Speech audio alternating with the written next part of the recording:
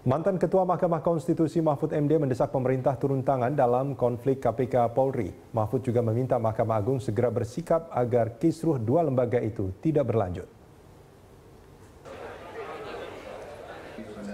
Mahfud MD mengatakan saat ini terjadi kekacauan hukum yang harus segera diselesaikan.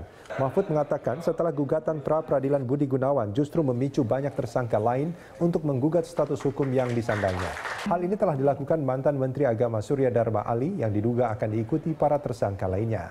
Mahfud meminta pemerintah lebih tegas dan meminta Mahkamah Agung memeriksa Hakim Sarpin yang memimpin sidang pra peradilan Budi Gunawan. yang harus diselesaikan oleh negara ini bukan oleh pengadilan tetapi oleh negara ini harus diselesaikan potensi terjadinya kekacauan hukum itu Mahkamah Agung harus bersikap